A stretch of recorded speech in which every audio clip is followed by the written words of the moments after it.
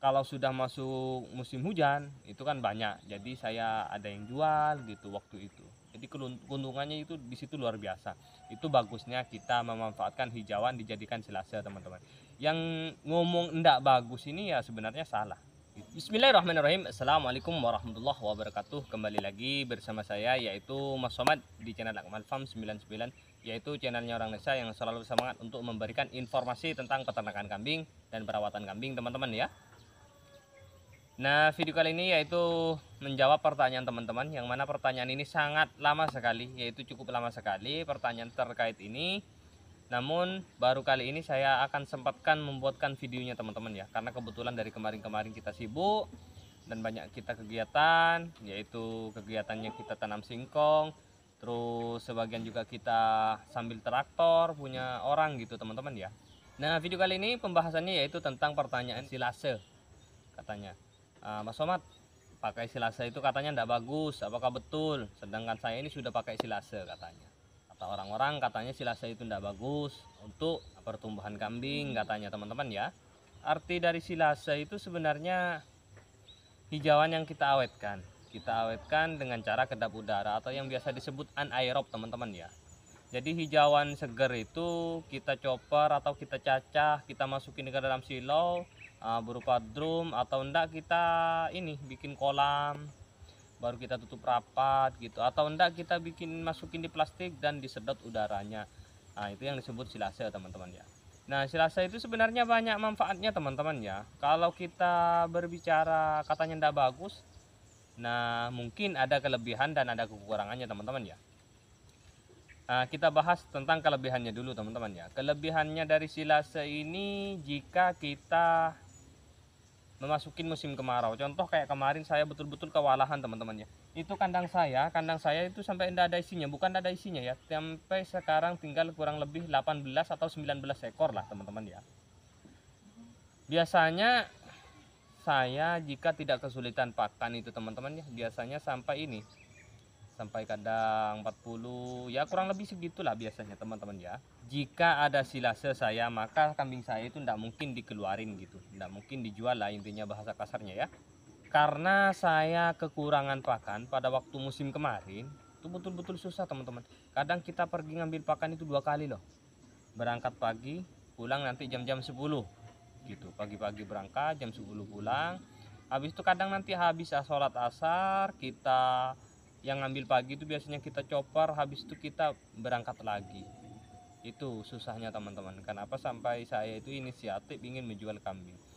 Kalau yang ditanam bukan yang nggak ada ada yang kita tanam. Contoh kayak di sini ini kan kita tanam. Ini kita tanam perbarui ulang ya. Terus terang itu tidak cukup karena memang kebutuhan ini kan banyak ya.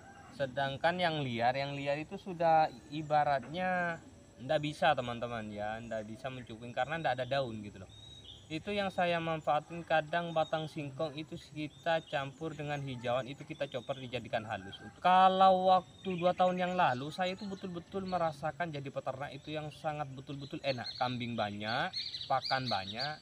Begitu nanti musim hujan itu pakan habis teman-teman ya. Contoh kayak sekarang musim hujan jadi pakan itu sudah melimpah baru pakan saya itu habis pakan silasenya. Tuh kelebihannya pakan silase teman-teman ya kalau peternak tidak memanfaatkan ke situ maka teman-teman peternak jika ternak kambingnya itu mencapai 10 ke atas lah bisa dikatakan itu kewalahan gitu. Orang kan pelihara sapi dua ekor. Nah, pelihara sapi yang ada yang satu ekor ada pelihara kambing tiga ekor itu ngarit terus teman-teman ya ngarit. Sedangkan saya itu nyantai. Jadi ngopi merokok waktunya orang ngarit kita sambil ngerokok ngopi. Waktunya orang cari rumput kita memberikan makan kambing gitu. Tuh dua tahun yang lalu. Nah dua tahun yang saya rasakan ini sudah masuk dua kemarau teman-teman. Ya dua kemarau itu betul-betul kesusahan. Karena apa? Karena yang perkiraan saya ini kemarau ini tidak akan panjang teman-teman ya. Jadi pikiran saya itu hijauan masih tetap melimpah. Pada kenyataannya kosong teman-teman ya.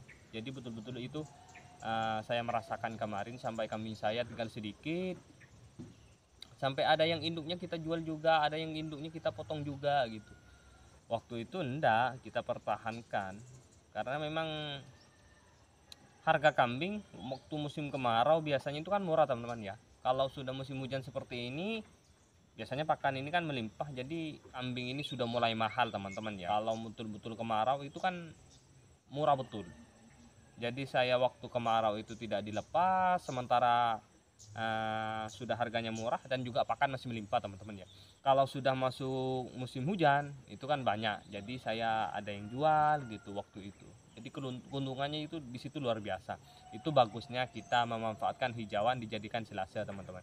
Yang ngomong ndak bagus ini ya sebenarnya salah gitu terus yang kurang bagusnya mungkin pikirannya teman-teman peternak. Jika ada kambing menyusuin itu saya rasakan juga sih jika ada kambing menyusuin jika tidak ada tambahannya hanya ibaratnya hijauan silase uh, silase yang sudah kita awetkan itu biasanya kelemahannya air susu jika kambing menyusui teman-teman ya kelemahannya itu susu dia berkurang oleh karena itu teman-teman peternak, pakan kita menggunakan silase boleh. Terus nanti kita ada tambahan untuk uh, meningkatkan produksi susu kambing gitu loh. Memang betul teman-teman ya, biasanya kalau pakai silase, silase aja ibaratnya tidak ada tambahan pakan yang lain, itu biasanya kelemahannya ini, kelemahannya di air susu. Jika kambing menyusuin biasanya produksi susunya itu akan mengurang teman-teman gitu. Beda dengan yang hijauan segar. Nah, terus ini juga ada kelebihannya teman-teman ya. Kelebihan lagi jika pakan hijauan silase ini yang sudah kita silase itu biasanya itu lebih minim risiko dalam arti tanda kutip kambing kembung. Nah, itu uh, lebih ringan teman-teman ya. Jadi belum ada sejarahnya saya ternak kambing atau teman-teman peternak yang lain uh, khususnya yang di daerah saya ya yang menggunakan pakan silase kambingnya itu ibaratnya kembung atau keracunan belum ada. Gitu teman-teman ya. Tapi kalau pakannya segar keracunan atau misalnya kembung ah itu udah biasa gitu loh. Itu yang saya betul-betul menikmati teman-teman. Jadi hijauan yang sudah kita silase itu tidak ada efek jika kambing itu kembung ya makanya silase itu kalau bagi saya ya yaitu 50% itu bagus dan 50% itu kurang bagus kurang bagusnya yaitu jika ada kambing beranak produksi susu kurang Nah, tapi kalau kita ibaratnya menambahkan supaya air susunya itu lebih banyak lagi, nah itu silase 100% bagi saya itu aman. Bukti teman-teman ya, ini bukan kita pamer ya. Nah, ini bukti bukan pertama kalinya teman-teman ya. Ini saya ini mendapatkan seperti ini sudah dua kali. Yang pertama sudah saya taruh di tempat teman dan ini yang kedua. Pertama pada waktu itu saya mendapatkan di peringkat keempat teman-teman ya tentang pakan silase gitu. Alhamdulillah sekarang ada penambahan inilah contohnya kayak ramuan-ramuan gitu. Alhamdulillah kita mendapatkan juara satu teman-teman ya. Ini adalah penghargaan teman-teman ya. Piagam penghargaan tentang pakan silase. Sebutannya yaitu silmi teman-teman ya.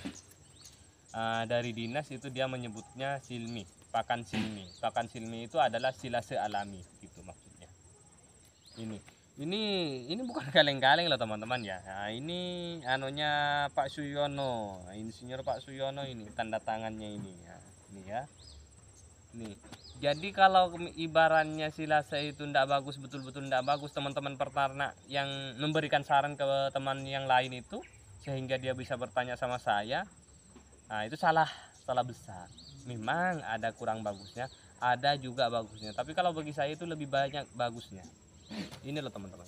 Ini bukti uh, penghargaan uh, tentang pakan silase nah, ini mungkin diperdekat teman-teman ya gitu bisa teman-teman screenshot habis itu nanti kita teman-teman peternak baca ya jadi peternak itu tidak usah bingung lagi jika ibaratnya ingin membuat pakan silase teruslah membuat pakan silase, teruslah berinovasi dan teruslah di situ bisa teman-teman peternak bisa meneliti. Apalagi teman-teman peternak ibaratnya silasenya itu mau ditambahkan molases atau mau ditambahkan dedak atau bekatul, nah itu bagus gitu loh untuk mencukupin karbohidratnya teman-teman ya.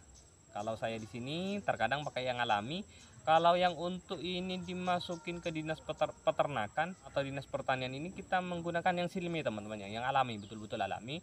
Dan terus ini juga kita ikut ke tingkat provinsi ya tingkat provinsi uh, tentang inovasi teman-teman.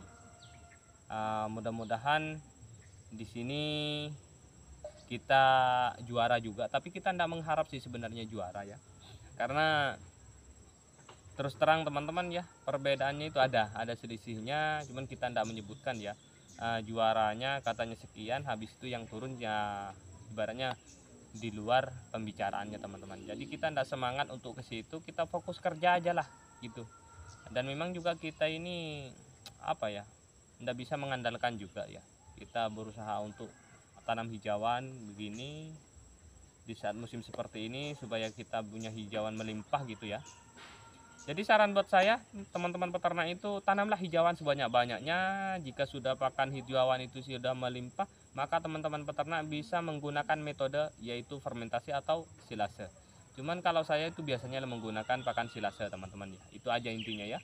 Mungkin videonya sampai di sini aja teman-teman ya. Buat teman-teman yang suka dengan channel saya jangan lupa like komen dan subscribe channel Alfarm 99 dan jangan lupa nyalakan loncengnya agar tidak ketinggalan info tentang peternakan kambing dan perawatan kambing Allahul muwaffiq ila Assalamualaikum warahmatullahi wabarakatuh. Semangat jadi peternak. Sukses peternak Indonesia.